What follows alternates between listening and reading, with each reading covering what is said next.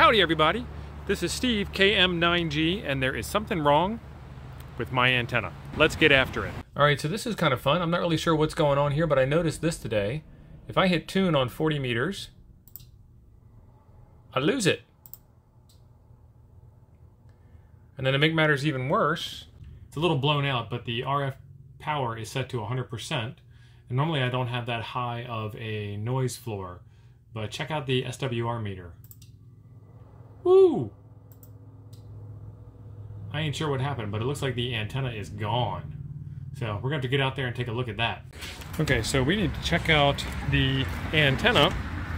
So we'll take a walk outside.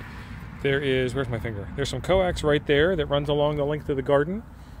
And what we're going to do is we're going to isolate that out of the mix, but I also have to walk over here to where the antenna is.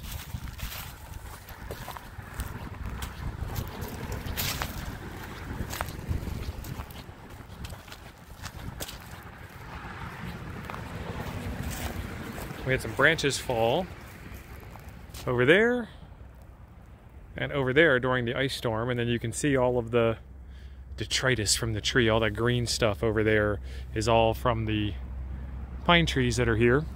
Maybe it's a fir. I don't know. I'm not a tree species expert. Cisco, providing the world with food. All right, so let's take a look up the mast. Anything up there that matters? Nope, that all looks pretty good to me.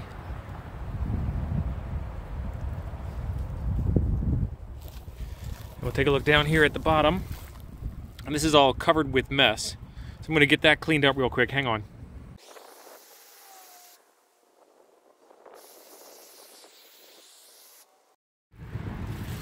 All right, oh, let's see how well this works here. I don't know. I'm kind of just checking the basics right now. I'm not 100% sure of what the right answer is going to be. So next thing I want to do is check continuity between the two plates to see if something's grounding them out. Put my trusty multimeter on continuity mode. Listen to her whine. And then somewhere down under there, there's that. Okay, so the plates are not connected. Let's make sure the elements are connected.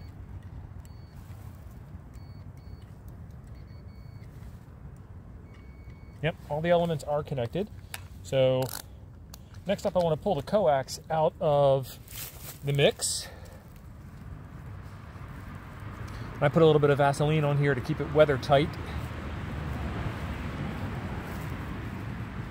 But that also makes it not a whole lot of fun to touch. And I come out here periodically throughout the year and use this antenna for other projects, use this, this coax for other projects.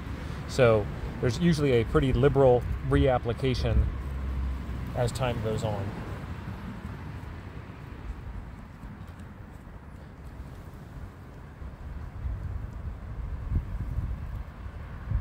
Okay, that looks all right so far. Get that out of the way. Clean this up a little bit.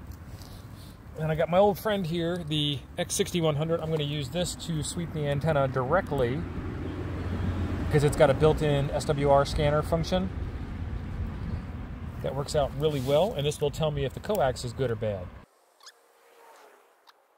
Okay, there it is. It took a long time to come on. And then I turned it off because I was impatient. So now we got to do it all over again. Oh, that's right. I had Wi-Fi turned on for a previous project, and that's why it's taken longer than usual to boot up. We are online. Let's go to app. Let's go to SWR scan. Let's change the speed.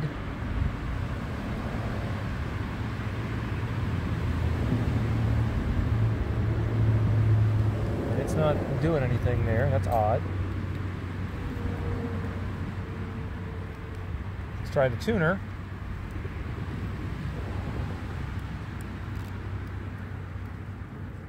Okay, so now I hit the tuner and that brought it into line. Maybe that'll help out a little bit. Yep, let's take the tuner back out.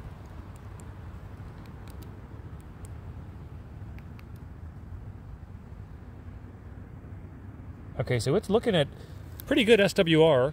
I don't know if you guys can see that or not. Pretty good SWR across 20 meters. That's almost all the way below 3 until you get to 14.6, which is out of band anyway. Exit that. Let's change our band.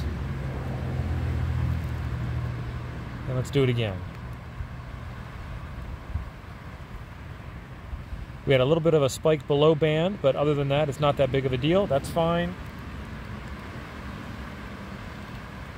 Okay, change bands. 40 meters. Okay, 40 meters is pretty flat across the way. So that tells me it's probably coax related. Let's go the other direction. 17 meters. Same thing.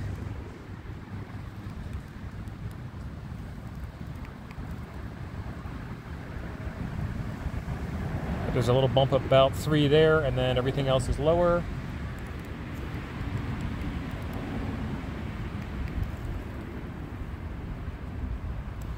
And these are bands that this antenna is not cut for.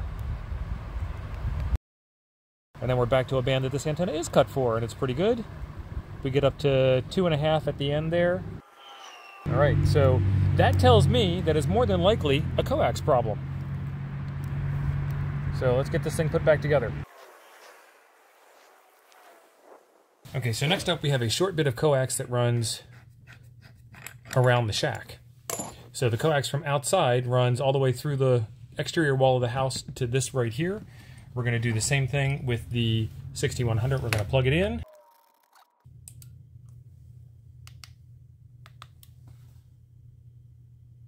Yeah, so we're about three on that.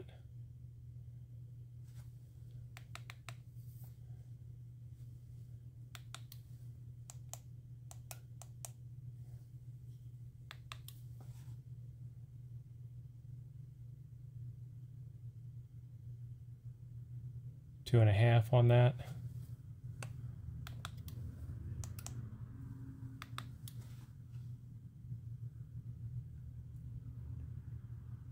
All right, I think we found our problem.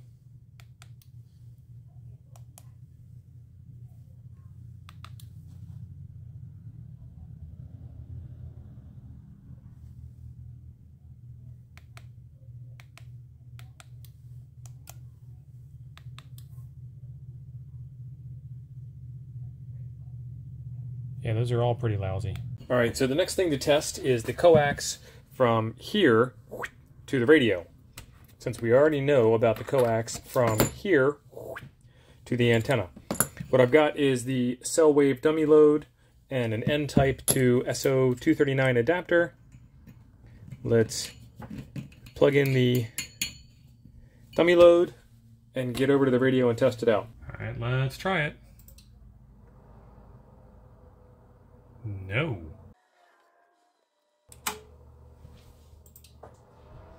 There we go the tuner was stuck. The other tuner.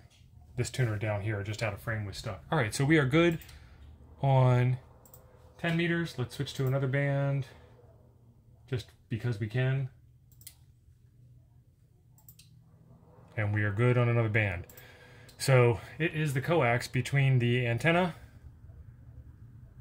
and the house. That sucks. All right, so what we did there was a process of elimination. We started at the base of the antenna, kind of split the difference. So I went from the base of the antenna up the antenna, that was fine. I went from the base of the antenna back to the house, not so good.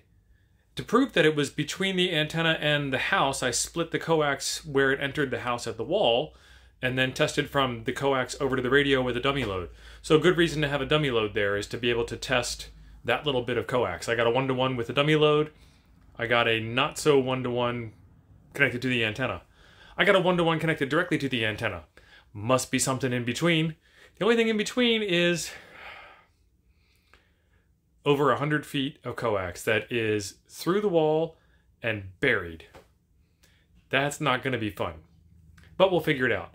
I'm going to probably try and see if I can cut maybe two or three feet off the far end of the coax and put a new end on it, which is also not fun, but a lot more fun than redigging a trench and repenetrating the house. Either way, there is a video right over here I think you will enjoy next. Thanks for being awesome. I'll get this thing fixed sooner or later.